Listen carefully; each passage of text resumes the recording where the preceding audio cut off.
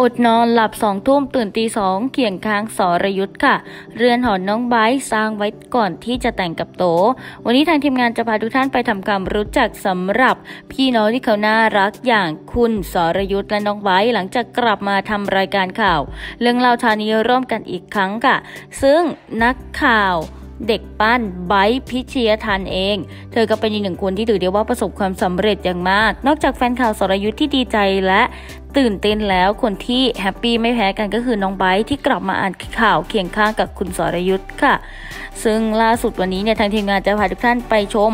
บ้านของคุณไบร์กันนะคะ ก็ต้องบอกว่าเป็นบ้านอีกหนึ่งหลังที่มีความพร้อมความสวย จะเป็นยังไงมาติดตามรับชมกันค่ะ